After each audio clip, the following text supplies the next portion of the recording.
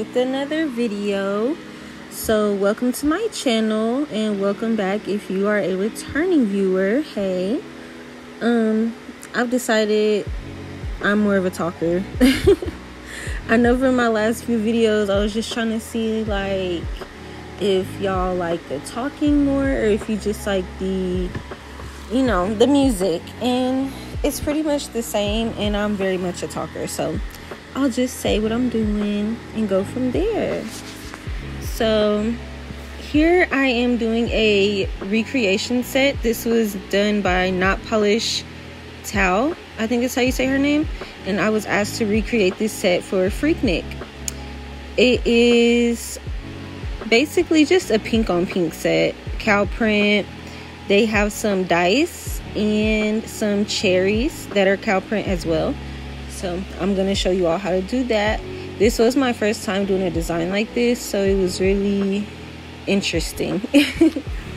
and I'm not much of a Frenchy girl, but I am, I really knocked these out, I'll be honest. but I'm just doing the smile lines, comparing them to the other nails, making sure they're all the same length, and then I will be curing them and doing a second coat of that pink and then curing that again before I go into, ooh, excuse me, before I go into doing the design. So when I am done with that, I'll be back with some more.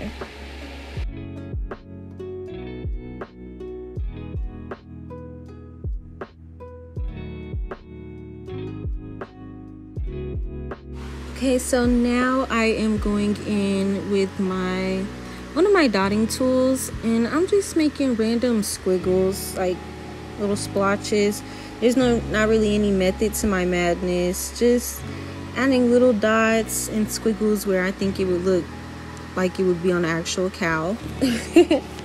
I did not use any of the base coats to do any of my nail art. I feel that with the sets that I've done I think that the base coat isn't really needed. Some people say it helps some people say it doesn't really do anything. For me I if I'm doing more of like a like say let's see this design. I don't think it's necessary but that's just my personal opinion. If you want to use it that's fine.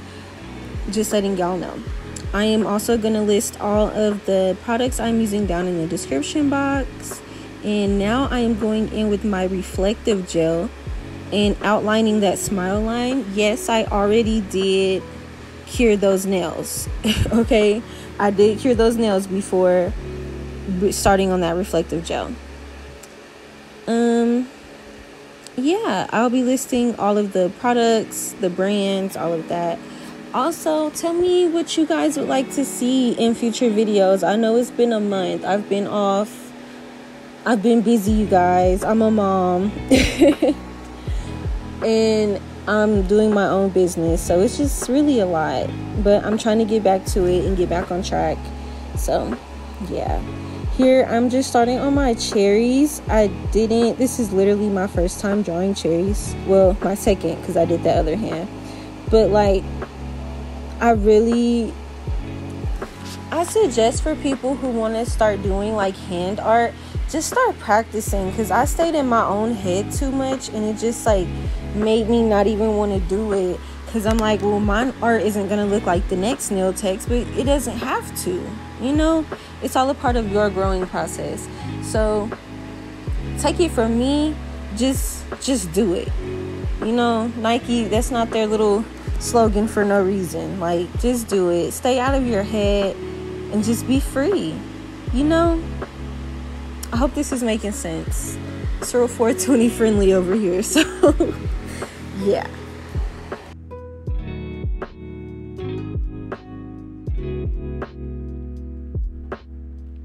Also, I want to point out with all of the nail art I am doing, I am curing it twice for 60 seconds to make sure that everything is cured.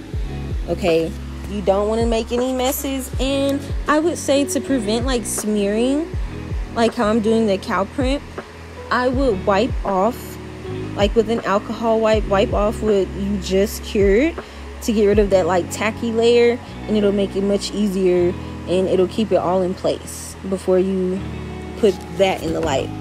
So I've cured those as well. Now I'm just taking my 9 millimeter brush from Nailz by Dev. If you know, you know.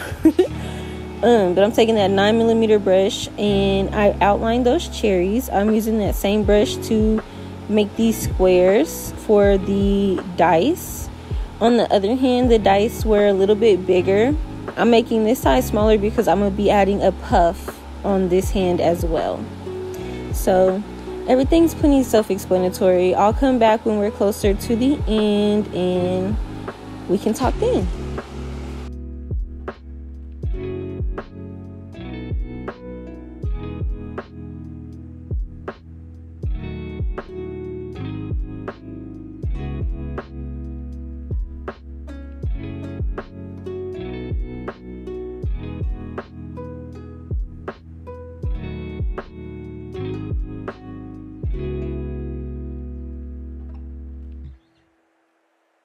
So now I'm going in and taking my reflective gel and I'm just creating some drips like it's dripping glitter. Oh my gosh, look at that. It's so pretty. Um also for the cubes, all I can really say is like just draw what you see because I've never been good at like making cubes. I redid those so many times, but it's okay just keep going. That's all that matters. And of course, I am using my Zule Bling Glue. If you know, you know. If you don't, wake up. but I am just really the I usually do freestyles, but with this set, it was really a recreation set like all the way except the puff. So it's like if you follow her, you've seen this set before. I don't know if y'all can like tag her, if I can tag her, but she came up with all of this. but this set is so cute. Let me know down below in the comments what else you would want to see. Like if I if y'all want to see acrylic toes or you know a feel i did myself a short set. I recorded it. It'll probably be my next video. But i didn't do any design. I know. It's just a little nude set. But yeah like let me know let me know how y'all feel, what y'all want to see. Because y'all are the most important. Without you, there would be no channel. Like, honestly. And I love you all. As far as my page, I will be trying to get better and work on posting more. I'm trying to get life to settle down. but I will work on that.